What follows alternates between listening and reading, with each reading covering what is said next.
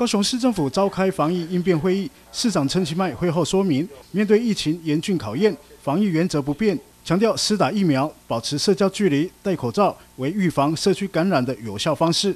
防疫的原则不变，最重要的还是要守住社区作为啊我们在防疫的社区感染的传播链，必须把它挡住。所以要把这个传播链把它挡住，有三项。第一个就是要打疫苗，所以我们也希望说啊轮到顺序该施打疫苗，要必须去赶快施打疫苗。第二个，保持社交距离。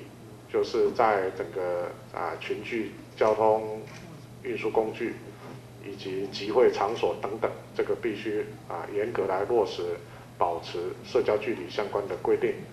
那第三就是要戴口罩，这个是在预防社区感染三项最有效的做法。市长陈其迈表示，部下重兵守住医院、社区两道防线。指出准备医院相关疫苗措施，同时进行资源盘点，确保口罩、防护衣、氧气机等防备能量。同时重申打疫苗、保持社交距离、戴口罩为重中之重，盼市民朋友配合团结防疫。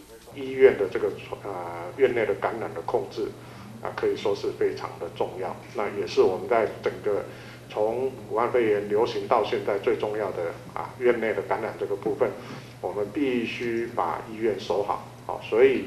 我们今天中午也啊准备了所有的防疫的物资，好，跟整个医院相关的，包括防护衣啊呃的气瓶、氧气机，以及啊这个相关的这个这个 ventilator 呼吸器等等，这个部分我们也做资源做一个盘点。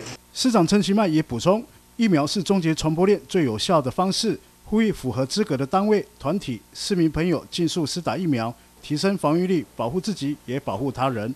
记者李正道高雄报道。